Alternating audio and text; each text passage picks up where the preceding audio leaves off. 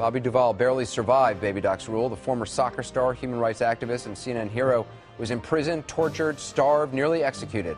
I talked to him earlier. And I was thrown in jail. When I came out, I was down to 90 pounds. I mean, skin and bones.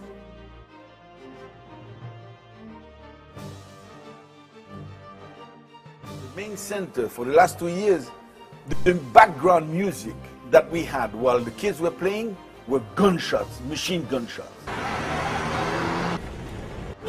Some of these kids have witnessed the worst atrocities. They live in, the mud and no running water, no electricity, no garbage pickup, no food, nothing. I felt that youth is important because the youth is the future. What I do is a drop in the bucket. A kid, he may have the most immense talent, but if you don't nourish it, you never know what he could have become.